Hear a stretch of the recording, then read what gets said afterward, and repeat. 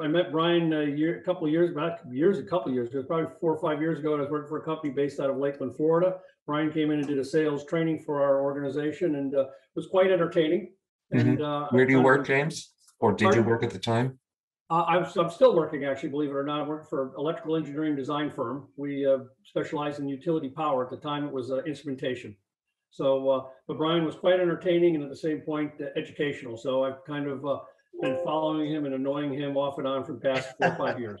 Now tell me, what among the things that you learned from Brian that day did you make part of your work life? Uh, It's an interesting question. Um, we had, uh, Brian made it rather competitive and I think our group won the sales presentation and I think I won the individual presentation, Yes, which you really kind of did. surprised the hell out of me because I, I, you know, I kind of, it reinf- he reinforced stuff that I was already doing. How's that? Um, probably not as quite as good as he is. Uh, obviously he's moved on to golfing and and doing sales training. Uh, so he's, um, but still selling. But, uh, yeah, I would say he reinforced a lot of what I was doing and, and I think, um, adds in that one factor, you know, be, be yourself when you're in front of people. Don't, you know, essentially be, be honest. That's all there's to it. Mhm, Yeah. Well, I Yeah. agree. Yeah, that was fun, James. And well, and, and what I loved about, so, so we went around the country with James's company and did these different sessions. And, and James, you, you would say that the, you know, the average age of the sales team wasn't 23 years old. There was an experienced group and a lot of engineers.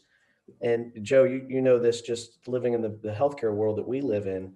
You know, there's a lot of complexities. There's, you know, uh, uh, anatomy, physiology, a lot of engineering. uh, And so it can, the message often becomes really complex and convoluted.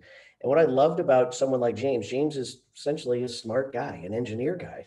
He's essentially a smart guy. He's essentially a smart guy, unlike me. Um, Mhm. and so what I love about someone, if you can combine someone who has all this knowledge and skill in their head, but don't think that their think that their job is to just spew a bunch of facts and figures and bore the hell out of people, then you have a really good salesperson, right? And so combining that knowledge with knowing when to use it and not to use it is really important, but it's also often really hard for the I would say the specialists, like the subject matter experts. I know a lot of the companies, you have the sales rep who reels in the prospect and then you bring in the smart guy. Well, often that smart guy's presentation is boring as hell because they talk too much. And so working with the engineer or those specialist type salespeople, sometimes it's difficult for them to understand that, hey, our job is to actually just listen more than you do tell and teach. And, and, and so um, it- it's so cool to see someone like James who's still interested.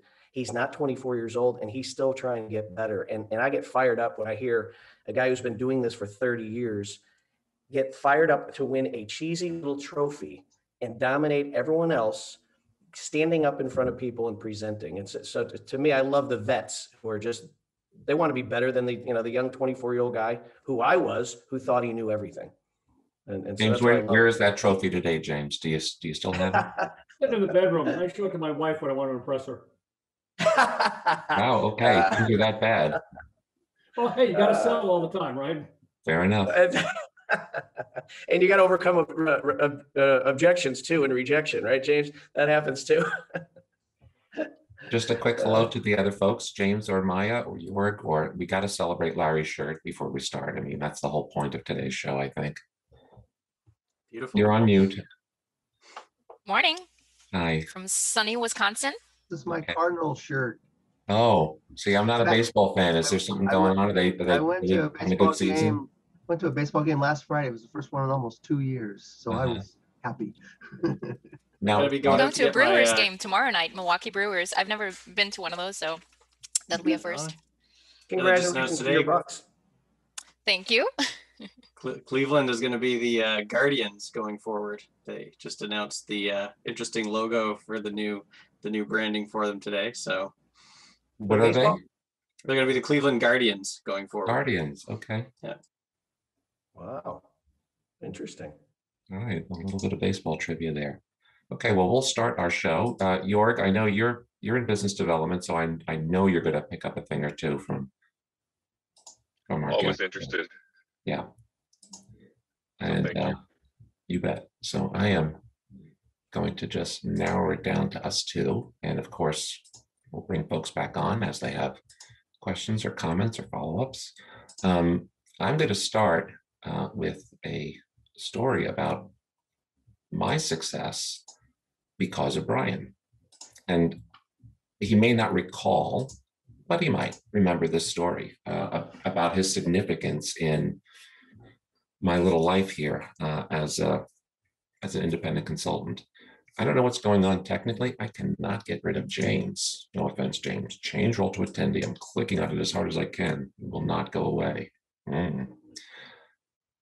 Back in 2011, uh, my employer, Cardiac Science, was bought out slash under, and uh, I was to be displaced. And my wife said, uh, Joey, you should be a consultant. And I said, I don't think so. I don't think I'd like it. But here we are a decade later, and Beth is never wrong, which is one key takeaway. Um, I had seen Brian at a, I don't even remember what, I, I think it was, um, maybe it was HIDA, I, I don't know.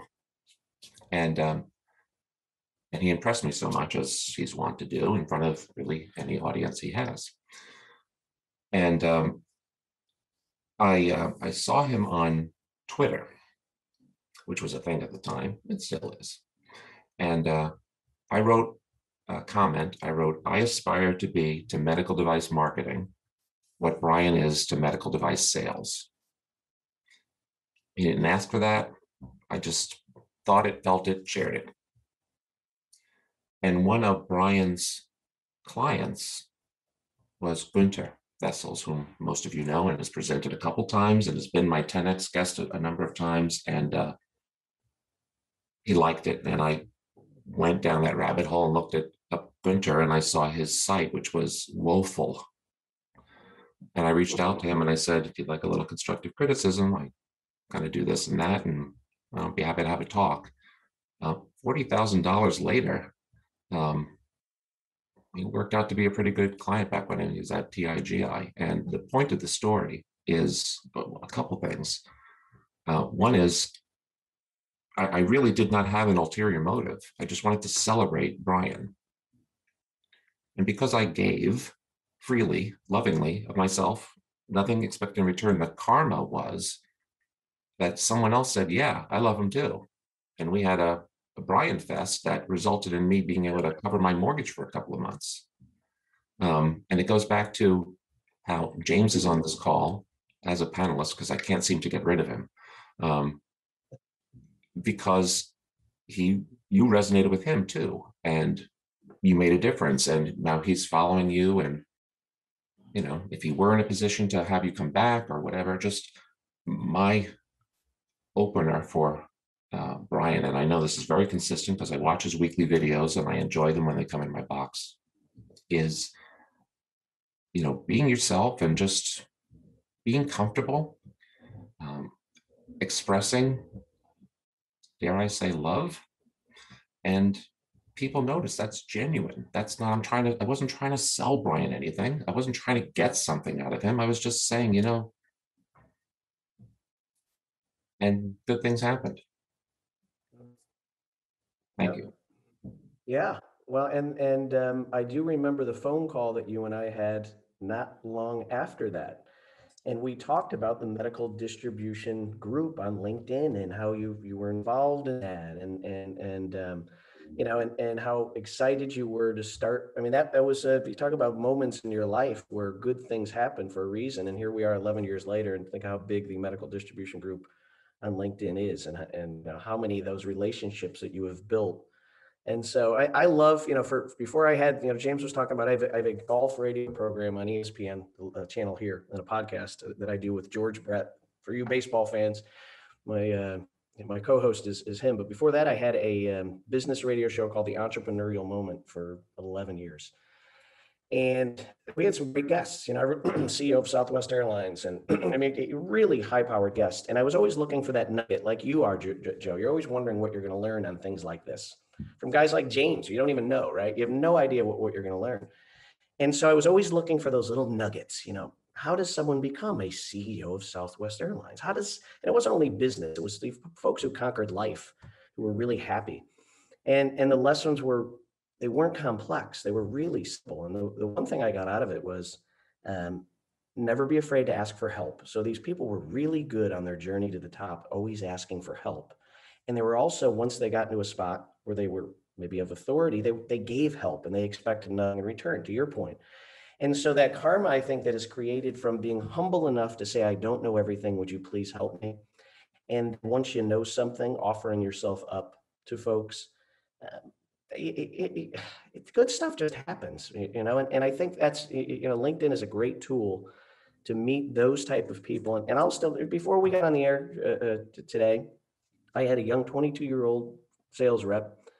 Um, I don't know her, reached out to me through LinkedIn and said, Hey, I just put together a cold calling script. Would you be kind enough to review it and just give me your thoughts? I don't know this person. Now, I could big timer and say, oh, please, so you have to monetize this. So I have to, right? And you don't do that. You say, this is awesome. You got someone who's excited about selling and you spend as much time with that person as you would the person cutting you a $10,000 check. That's how we're all supposed to do it, you know, and, and we're not supposed to pat ourselves on the back as a result of doing it. And I think that goes back to what you said is, you know, um, what I say is the greatest salespeople are the ones who, who are uh, uh, this, the most selfless. I think it- because I think there's energy and vibe that comes off people's bodies that is actually more important than even the words that are coming out of your mouth, and you feel it. Mhm. You know when it's real, and you know when it's authentic, and and and your, your is comfortable, and your client's body is comfortable, even if they don't know you. It just feels right, you know. And that's and and so that's something I really learned from these leaders is that be humble, give help, ask for help, and then the other thing is keep studying. Take an hour each week to do nothing but learn something new and and you know your brain's an asset and that thing's either appreciating or depreciating and um, you got to keep getting smarter and that's why i you know i love seeing experienced folks joining communities like this saying i'm not done learning because how fun would that be Mhm. right? Just to be fried and done and and that's that's no fun. So so really cool experiences um, you know through through that program and and of course linkedin and these things and podcasts have just become a great way for us to all learn from each other. What I love about um, this format is, as you saw, we we start the morning with just saying hi, and you don't know, you know, what's going on with folks, but um, right, I, you know, I I know my members well enough to know that, you know, I'd say at least a half dozen of them really don't have anything they would think to do with selling. That's not their thing. This guy does regulatory this, this one's an auditor, that one's like, but they show up anyhow. Yeah. Um, I speculate because, you know, it's us friends getting together. Uh, it's nice to say hi, even if they drop off a little later. If they're not careful, they might actually learn something. And um, it's a good way to be better rounded. And I think most importantly, you know, uh, I think the the most important part of selling these days is uh, being top of mind when somebody needs you. So, for example, I don't right now need uh, an expert FDA witness. I don't know that I ever will, but somebody might, and I'll be like, "Oh, you should call Larry," and I wouldn't know that that's one of Larry's specialties unless it kind of came up as we were talking here one week, Right. and then I was like, "You have to do a whole thing on that," you know, and so it's the thing about this program, this premium program, is it's it's you know you can find the answers to just about anything by googling. And you can say hey joe do you know anyone who? And i could go either you know there was somebody i met i think it was four years ago i can't remember his name now but i think he was really good at that versus oh my god you have to talk to larry absolutely larry Yeah. because he's top of mind i know him and we have a relationship and that, there's a big difference there between okay well maybe i'll get in touch with him and no you don't understand brian if you don't call him today i'm telling you i know he's really busy you got to call him today Right, right. Right. Well, and I want to get uh, back to something you said is, is, um, it, it, it- not everyone on this is a salesperson, but, you know, it, it, to, to me, we're all salespeople. And what, what I mean is, if you're working in a department, I don't care, you're, you're in the engineering department, product development, you're always selling. Right? Everyone, you have to be a great communicator. So let's remove the word selling and let's just say, you know, influencer.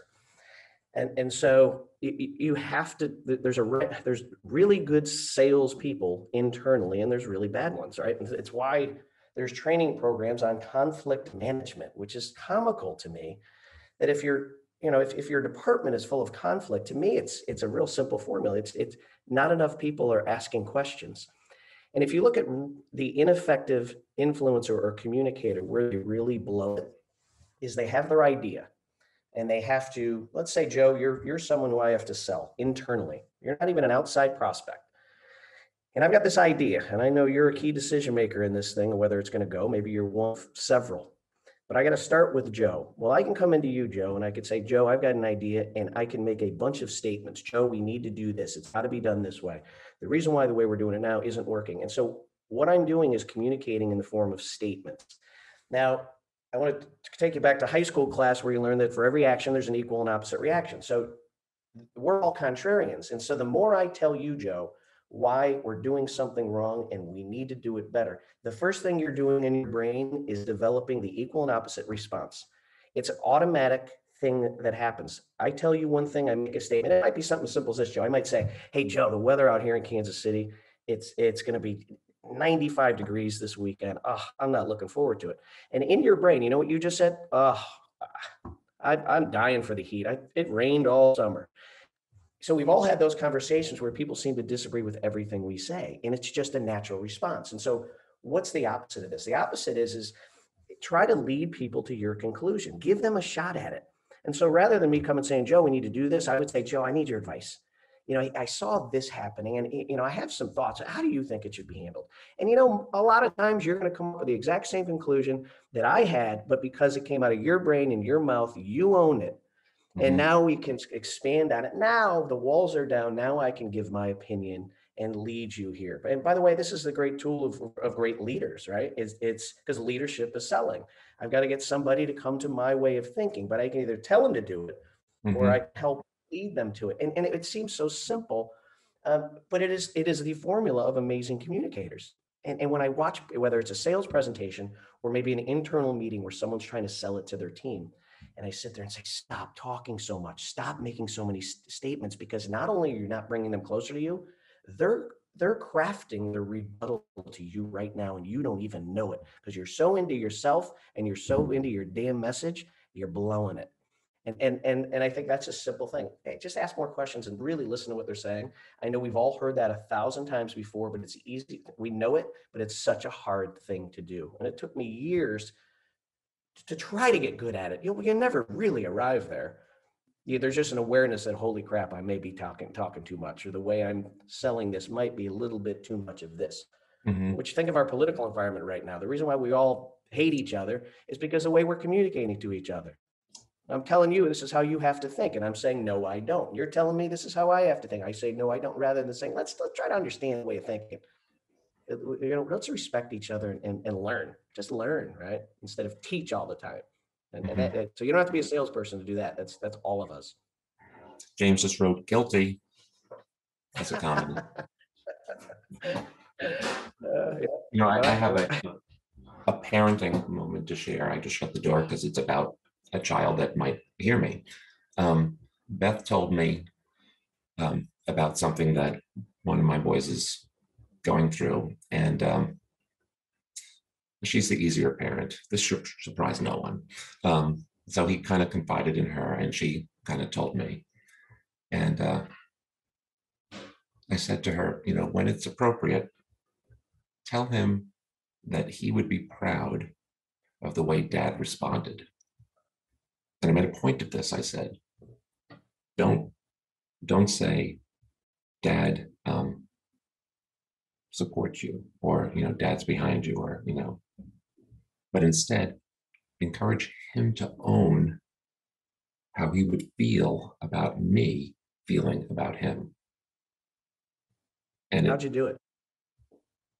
i don't understand what do you mean how did i do it So and you, so you had to have that conversation with him to try to. oh no no i i haven't i haven't talked to him yet about it Oh, okay.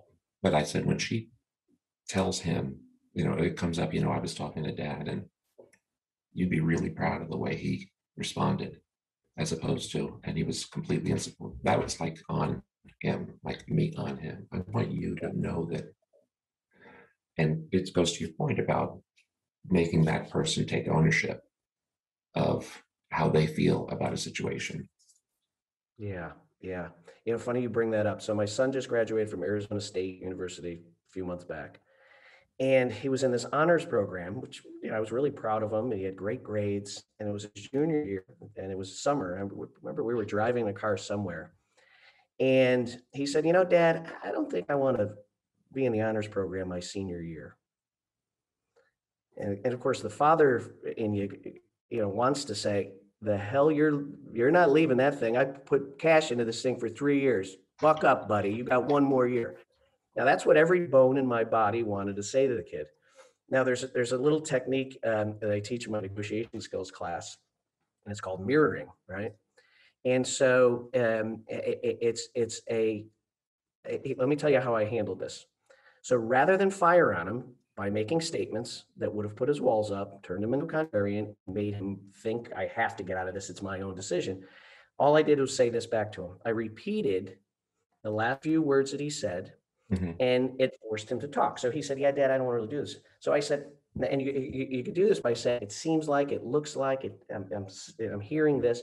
I said, "No, Jake. So it seems like you've given up on your dream to someday own your own company." And I just shut up. Oh no, no, Dad, I absolutely, you know, I mean, you know, I'm gonna get go out in the real world and get you know some experience out there. But yes, that really would be my dream. And I and I, I didn't add in any color. Not. And then he kept talking. And then he kept talking. Before you knew it, I didn't have to say much of anything. And he said, I know it's, you know, I probably stupid for me to do. And I just in the old days, I would have been dad moment.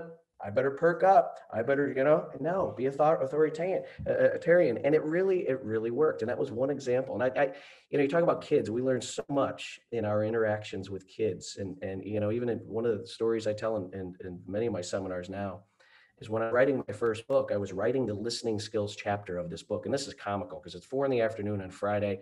My job was to write one chapter a week for 20 weeks, finish this book in 20 weeks. I couldn't start my weekend until I typed the last word of that chapter. And I'm two pages into this listening skills chapter, and he busts through the door. And he's four years old and he says, Daddy, Daddy, look at this. I made this construction paper apple tree. Look at it. And he's showing it to me. And I'm typing and I'm fake listening to him. I'm like, oh, really? Oh, Elmer's glue. But I'm not really listening to him. I'm blowing him off. Irony is I'm writing a listening skills chapter. He knows I'm blowing him off. He takes off. I type the last word about three hours later and I read what I wrote and it said, Don't ever fake listen with your most important customers. They'll know faking and they won't forget it. And I went, Oh, oh. And I ran out to that kitchen and I said, Jake, Jake, how are you? But it was funny. It hit me. I said, How often do I do this? Where I don't, you know, I'm not really listening. I'm faking it. And I said, if I'm faking with my number one customers, how am I doing with the paying customers? I bet I'm faking a lot with them too. And so I love those lessons that we get. We get better if in those interactions if we if we look for for it right? But again it takes humility to say uh, you know I, I don't know everything as a dad. And I, I think that's important.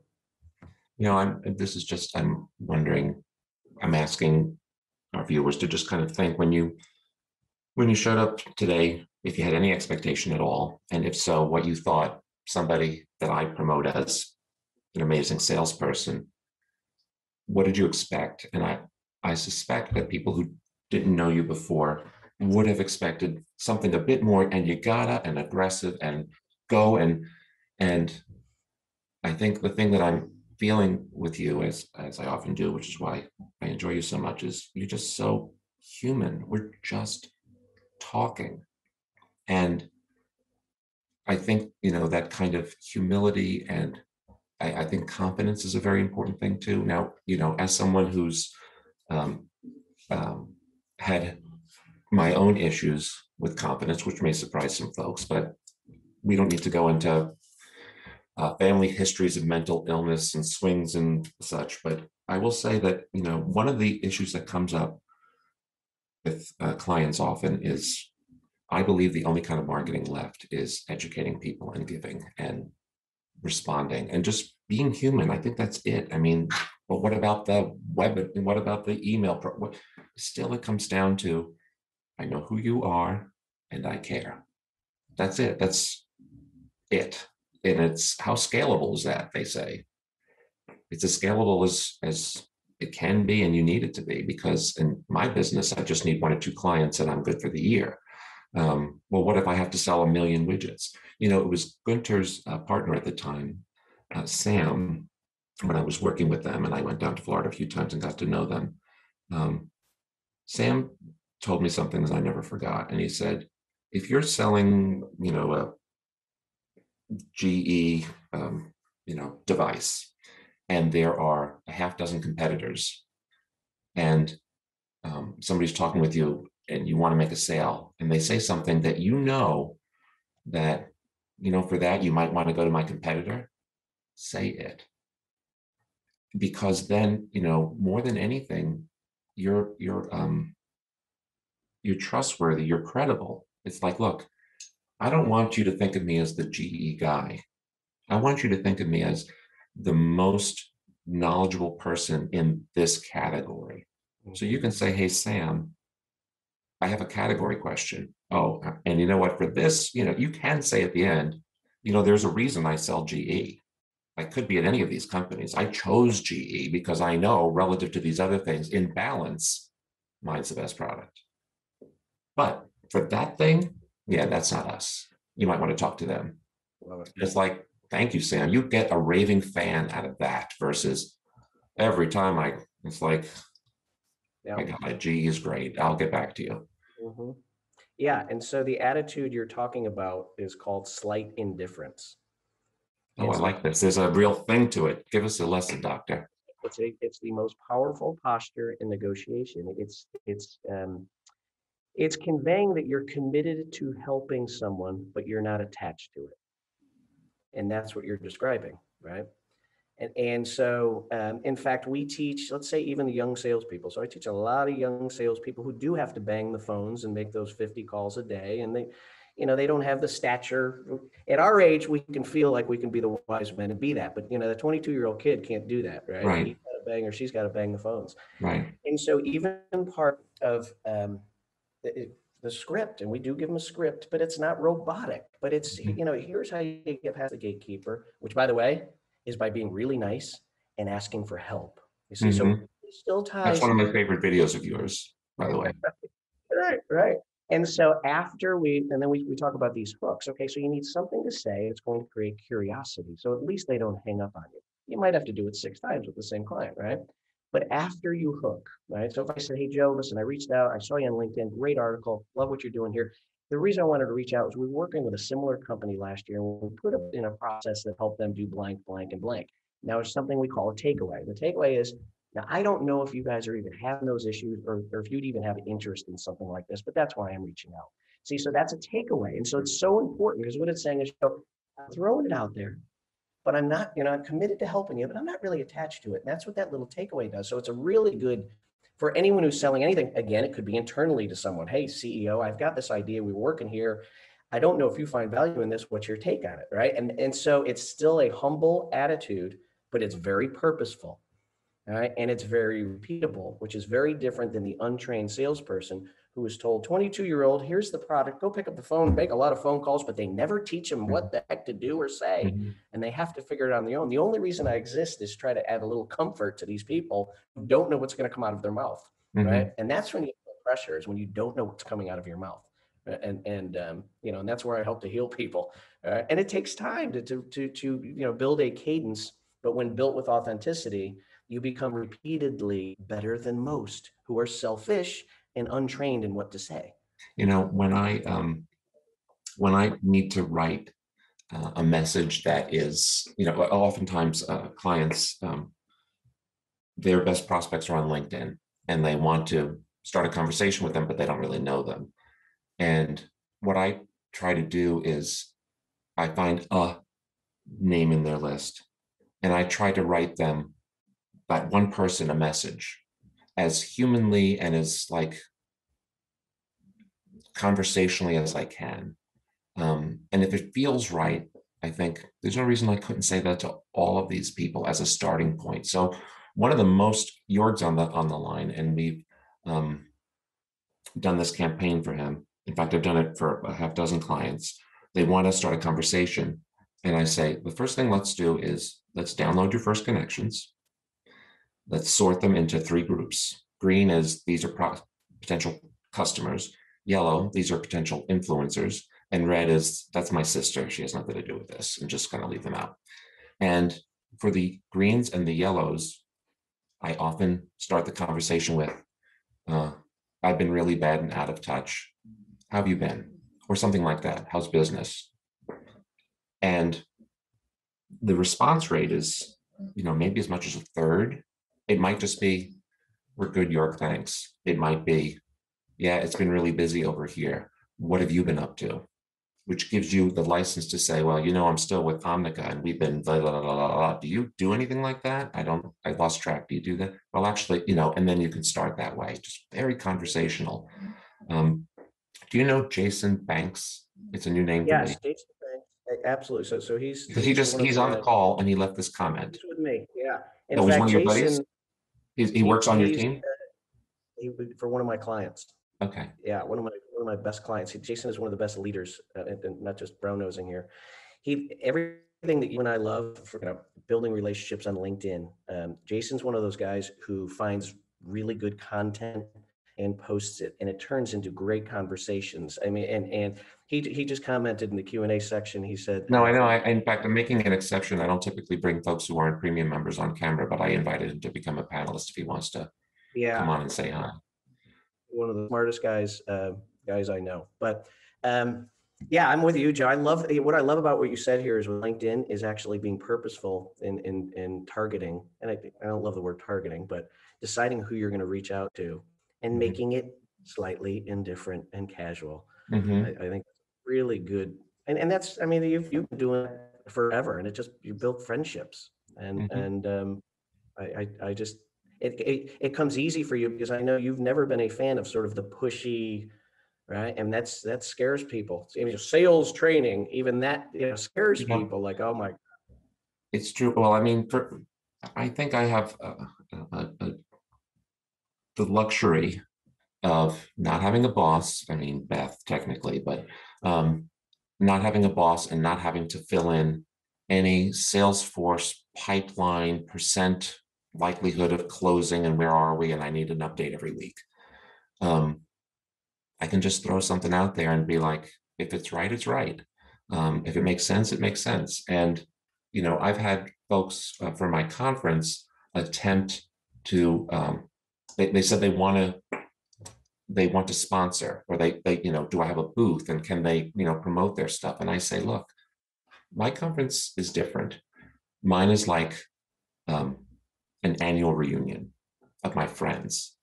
Please don't come to my event and try to sell my friends some shit.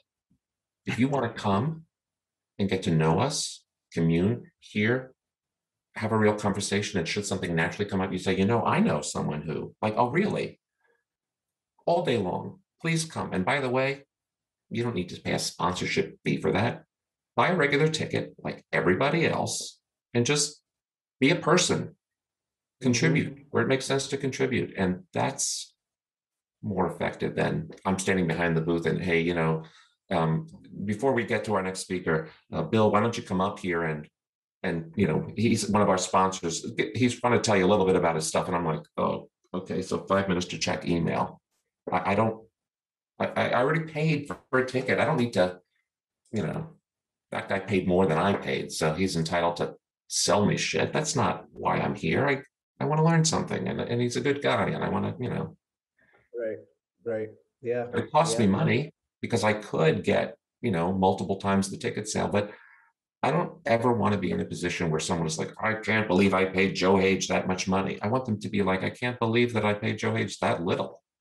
Like I got so much value out of it. And, uh, you know, that's, I can live with myself. Yeah, well, and you you have to um, be eager to meet a lot of people. You and I have been to a lot of these conventions, and you'll see the same five guys hanging out with each other. And you talked about those standing behind a booth who look like they're miserable doing it. And I say, Mhm. why aren't you in purchasing instead of sales? Nothing. Nice. Buyers, right? I mean, And because I know you, that's like the biggest insult you could give. You basically said, you know what? Sales guy. You suck. Wow, what a loser you are. You losers, you know, only salespeople. You don't cool. know anything about selling. What are you doing here? I Uh, have an well, administrative know, job for you that you don't have to interact with humans. You'll be great at it. put yourself in materials management just bury yourself in the basement right no it's it's um i- i- but it, it is that attitude of you don't know who you don't know what will come from the new friend that you have right? And and you know and i know we've, we've repeated this over and over but it is wild how much great stuff comes from folks who you just you just met. And and It's, I, I, to me, it's, that's so much fun about going to those events. This is why I've been longing for the world to open up again, Mhm. right? You think about what I did for a living was being on a plane every week, going to these meetings and doing the keynote and meeting people and feeling like a rock star on stage, Joe, right? But the most of the fun would come from hanging out and having a cocktail with the, with the crew after. I'm gonna ask having a you a personal question. You can choose to answer or not. Yeah. What did COVID do to the Sullivan Empire in terms of earnings? Yeah, Because- so, I imagine you can charge a lot more when you get on the plane versus, you know, I'll zoom in for an hour. yeah, um, not much less, actually. And if you think that the, people would do their meetings virtually, think of the money they were saving on travel costs and all of these other things. Mhm. And, and so, um, like everyone else, had to be really good at doing what I do virtually. And my whole goal was to try to make it feel as much like a live session as possible. I would do, Joe, a day and a half, day and a half Zoom presentations. And at first, I'm like, people are going to be falling asleep or checking Facebook. Mhm. So in all my presentations, uh, what I would do is I would set up the camera and I would stand. First of all, standing when you are doing a formal presentation does something to your body and that makes you a better presenter. So I would stand and I would walk around and I would still use props. And I, if I would tell a story, you know, I'd still turn my head this way. There's times to look in the hmm. camera. And so, you know, we really focused on how can we become great virtual presenters? And then you'd be amazed at how much we taught others how to become great virtual presenters. So I had to really morph my business into the process doesn't change. Um, just the vehicle that we're using, which in this case would be Zoom or Teams, um, is a little bit different. Mhm. But it, you have to, it's still game day, right? Whether you're in a boardroom uh, or on stage or whatever, you got to treat that Zoom presentation like it's showtime, which means you better be just as prepared. You better know what your opening is going to be. You're going to know when to add stories to your presentation, right? You're, so, so, so you try to make it as, as close as possible. And so, um, yeah, I had a really good year last year, um, and and I didn't have to travel much, and so it wasn't bad. But I'm I'm, I'm excited. The fall is packed. I'm, I'm going to be back on the road a boatload, and um, we'll see if we'll see if I still have it, Joe. Yeah, I'm sure you do. And I'm sure Mrs. Sullivan will be glad to get you out of the house a little bit. Oh my gosh, you know, I, I you can only watch so much Vampire Diaries and Bachelorette, Joe. I'm, I've had enough. Yeah. I hear you on that. Um, I want to, um, two things. One, uh, just a quick anecdote.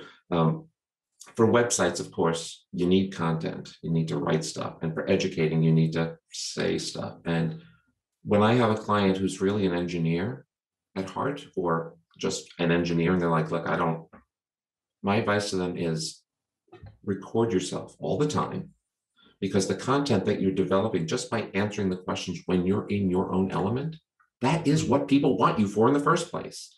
So don't be like, I don't know how to write, or I hate writing, or when I get around to it, I'll write a blog post. No, just answer questions that you answer in your job, and people will be like, wow, this guy or gal really knows what they're talking about. Um, so I wanted to make that point, I, and I knew that I would get some quick nods from you on that. So it was really just about validating me as a person. The second thing is uh, there are some folks on the call, I'm sure, who are like, I get it. These people are just saying, be human, be open, be honest, be truthful, all these kind of like human things. But maybe that's a luxury that comes with people who have the confidence of a Joe or a Brian to, I have no script here. I had nothing prepared. We're 45 minutes in. I haven't ruined this too badly. I'm not that comfortable. I need a little bit of, can you give us, here comes the teaching part where people get out their pens and papers if they still exist. Can you give us a top five, Brian? Now, I know you have an acronym. Maybe you'll take us through what each of those letters stand for. Sure. Yeah. So um, I want to get back to your your point of you know confidence is very important, but I, what I find is often my best students, who are often the best salespeople, aren't the extroverts, right? The, often it's harder for me to coach an extrovert into becoming a great salesperson because they are often so focused on themselves and their message that I have to sort of break them down and teach them to be humble and learners, right? It's often that person in my class or in my, you know, the session I do who's really quiet, who's just sitting taking notes, doesn't say a word, never raises their hand.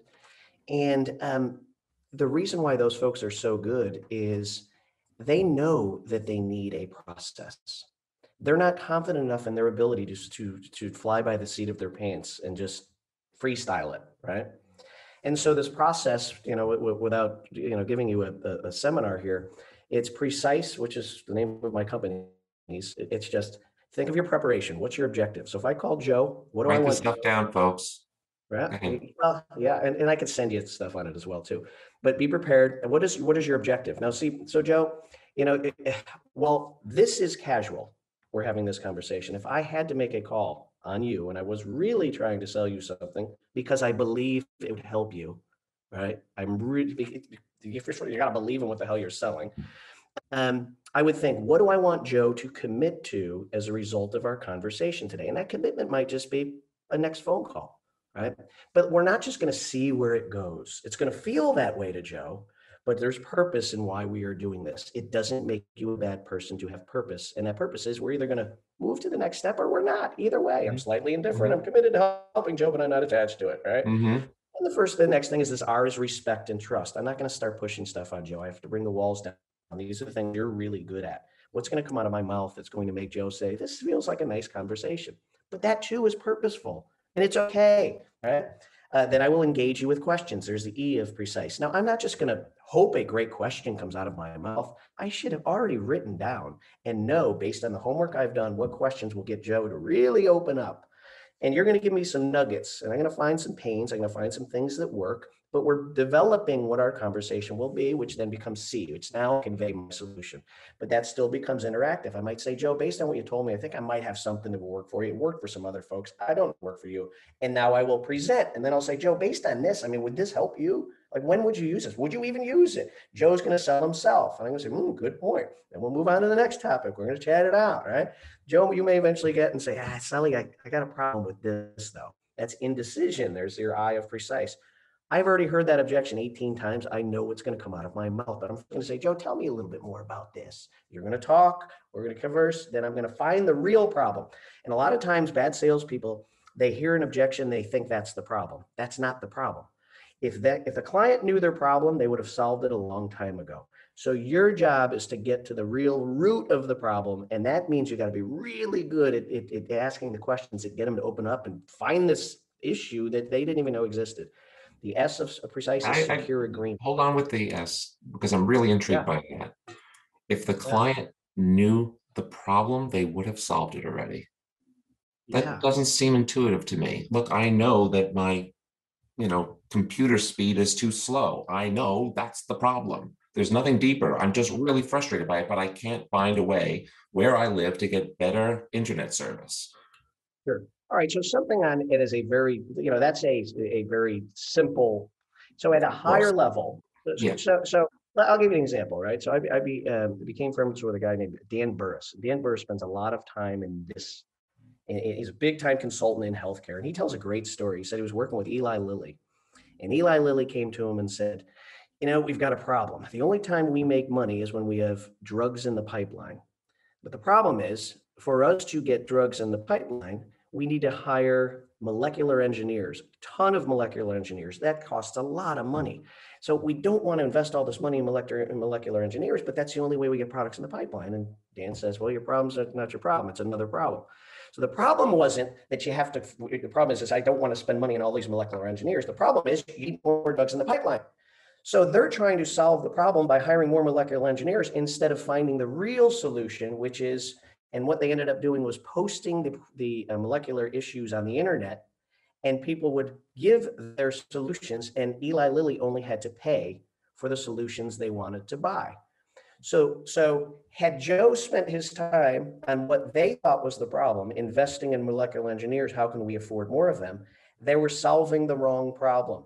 The problem could be solved in a different way, right? And so, so, so what, what does it mean to us? It's, it's don't assume what is coming out of their mouth is the real issue. You have to keep asking questions, and together you may realize, hmm, we're solving the wrong issue. Let's find the you know the solution in some other way. So it's just it's it comes from asking third, fourth, and fifth level questions. Right. Okay, just to let everyone see that I have been paying attention. P is prepare, R is respect, E is engage, Right. C is convey, Yeah. I is indecision, S, That's a secure agreement. So if, if I've got you nodding your head and you're like, yeah, this, yeah, this yeah, might make sense. Hmm, okay, if I get a few of those yeses, and maybe my objective is just get to the Zoom presentation, a more detailed presentation where I'm bringing in teammates. I'll say, Joe, based on what we, we talked about, what do you think? I mean, do you think it's worth more research? "Oh, I really do, Brian. So I have to get you to say something like that. And I'd say, Joe, with your permission, keywords, with your permission.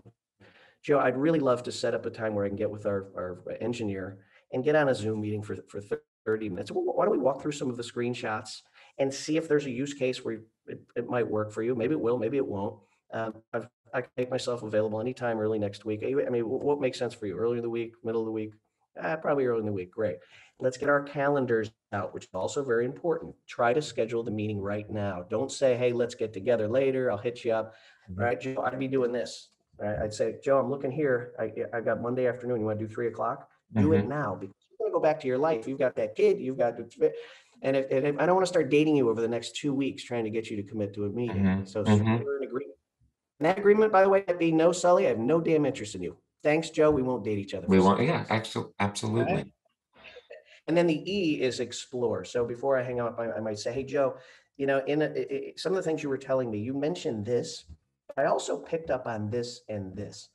When we do that meeting next week, would it make sense for me to also introduce another process that we put in place? We helped a similar client. You, you think there might be interest in that? So I might explore for another add-on Uh-huh. conversation.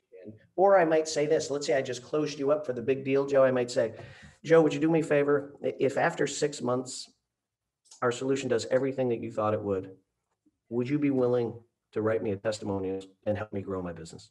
Mhm. And, and so I'm exploring for referrals. I don't think in healthcare, we do a great job of asking for referrals. If we acted more like the financial planning industry, we'd probably do better, but, but gosh, too often, it's okay. If you do good for people, it's okay to go back and ask for help. So that, there's your process, right? There's your, there's your two-day seminar in, in six minutes. I appreciate that. Maya, I saw you, oh, I see, I, okay.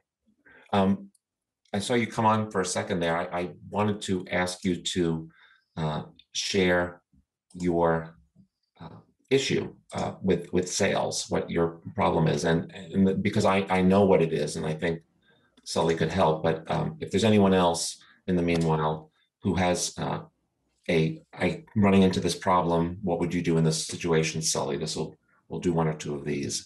Uh, So. what my problem is with selling. Well, Um, I mean, just I, I happen to know the situation of where your company was founded, where they are, do their most business, what you're trying to do, what frustrations you've had. Would you tell Sully in a nutshell what you do and what you're encountering?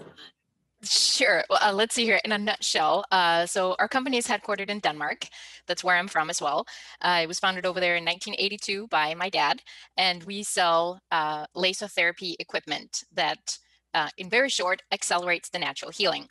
Works really well for a number of different issues like sports injuries, carpal tunnel syndrome, tennis elbow, back pain, arthritis pain, lots of different issues. Um, so essentially we sell to uh, chiropractors, physical therapists, massage therapists, um, some MDs, um, vets, horse practitioners. Um, it can be used both for humans and and animals. Um, so we've you know done really well. Uh, you know throughout these many years uh, especially in europe and then about seven years ago i got involved I, I was already living here in the us and so i got involved and to try to sort of help expand uh, the company here in, in the us so that's sort of my yeah yeah my my job marketing and selling and you know and all the other stuff that kind of comes along with running an office. Um, so uh, and i think Selling in America challenging. What, why have you, what do you believe is the reason you've made relatively little traction in America? Um, well, first of all, it's a huge country um, compared to compared to you know like Denmark, for instance. Um, and there are a lot of other laser companies out there that are more well known than we are uh, in the U.S. At least you know so far. Um, so I think it's just yeah brand awareness and um, and also just i mean there's like huge potential there's so many different you know so many different market or target groups too like chiropractors physical therapists vets horse people i mean there's it's there's a lot of potential and it's um and yeah, also a lot of yeah, a lot of competition, I guess. Well, Let's talk about one in particular. You, one of the markets you target is chiropractors, am I right? Yes. What so that's- that's our challenge main in one. penetrating that market? Um, I think it well, I think first of all, it's that it, it is a really big country. And so like at first we tried to do, you know, a little bit of like national advertising and we sort of realized, okay, that's a lot of money for trying to reach all of the United States. Um, so then we started focusing a little bit more just here in the Midwest because well, that's where I where I live. Um, so I, I think we've done okay here in the Midwest, but it's just like there's still a lot of a lot of potential, I think. Um, and so it's just kind of yeah, I think it's brand awareness is probably sort of uh, one of the, I guess. What, what's your sales channel? Do you use manufacturer reps? Do you have your own salespeople? How do you get, how do you Uh, spread the message to these individual offices? Right. I mean, we have a few distributors around the US, and then other than that, I'm it in the US. so um, I'll go to like trade shows and, you know, like chiropractic association conferences. And uh, we do a little bit of advertising uh, in like, you know, membership magazines. Um, we do email newsletters, social media. But I know there's a lot more we could do with social media and newsletters. Like, I know we just need to like prioritize more time there. Um, so See, to me, Yeah. that's all about convey, which is halfway through the precise model. We haven't had a chance to be, I I think there's a lot of one-to-one work that you can do, and you might say, yeah, I'd love to do that, but that's not scalable. How do I? So Mm. Sully, how, you know, here's Yeah. one gal Sure, trying to do everything, sure. um, but she has a compelling product for an audience that would benefit using it. Yeah, Yeah. okay, so, um, first, how do I pronounce your name? Maya, Okay. So, so Maya, have you had, uh, all right, so to me, it, because it's a piece of equipment, there needs to be a lot of conversations in office about this product. So if, if I were to help you, what I would say is who are potential manufacturer rep partners who are already walking into these facilities each day? And I have two very good friend companies who, good technologies like you, go to these folks because they're already on the street doing this. To me, what you need is either people banging the phones or showing up and saying, so let's say it's Dr. Hage. I, hey, I'm in here and I'm selling you uh, maybe a, an, uh, an ultrasound in your, your office, okay? We already have, I've already sold you the ultrasound. I want that guy or gal to be able to say, hey, doctor, by the way, we just partnered with a company based out of Denmark and they've got a device that will do blank, blank, blank. Would there be any interested in seeing a demo on this? So Mhm. you need a lot more of those conversations being had. Now, in your role, you have to say, okay, now you have to give up margin. Is the margin worth, right? Or is the money I'm spending on social media or these advertising, is it offset by these conversations? I always say 100% yes. If you have 50 people on the street today while you and I are talking, and we know that there's 10 conversations being had one-on-one, looking someone in the eye, or if it's an inside sales team, they're talking about your product. You- You need that more to me than someone looking at a, you know, a, a, a fancy slick on your technology. The hmm. other reason why this is important is because you don't have the brand awareness. That will be offset by the relationship that that sales rep already has with the physician. If you do a great job of selling these reps on your credibility and your quality, and you're going to support the heck out of them, when he says, "Hey, doctor, hey, trust me, this is a really good technology," that's good enough. I didn't know, I didn't need to see the fancy brand. Even if it doesn't say Mhm. GE, I trust that person. It goes back to Mhm. being Joe. Joe said, he, that, that, that rep's got the respect and trust already that, and they're carrying you in and, and they're, they're, you know, they're attaching you to them. And that's, that credibility is worth way more uh, than, than the other. So if you're ever interested just in having a conversation with a couple of, uh, uh, partner groups of mine, you know, they've got 51 rep, the group has 50 reps, another one has 75 reps, and they exist solely for folks like you who have really good technology but have no idea where to go uh, with it. The other reason I like this model, it's it's it's uh, it's a commission based thing. So you can if and they're not easy to get in. You got to present your your case really good to these folks. You may end up giving anywhere between 8 and 12%. But you're only paying if they're 1099. You're only paying if they if they sell the product. That's the dream setup for you. Right? Right. So so if if you ever want an intro to some of these, I, I can I can certainly help you. And the other good news is, you know, these two companies I'm talking about, selfishly, they use precise selling as their model. So uh, I'll make sure that when they go in, they're representing you well. Right. Oh, that sounds that sounds awesome. I Yeah, think we could I, I tell would, this to your dad. yeah, I would definitely be interested. All right, thank you, Maya.